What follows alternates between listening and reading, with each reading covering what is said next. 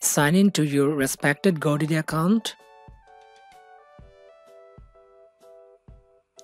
Now you may see at the top left corner saying home.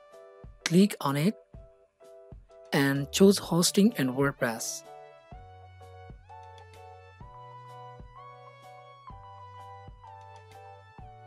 Now click on domain name. Uh, now you may see at the right side here it's saying server. Click on server.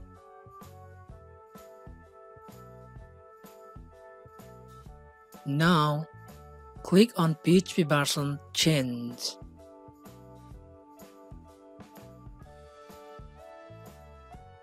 Now choose your version what you want to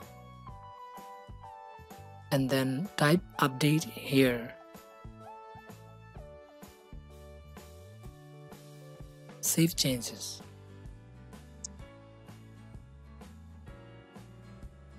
Here we go.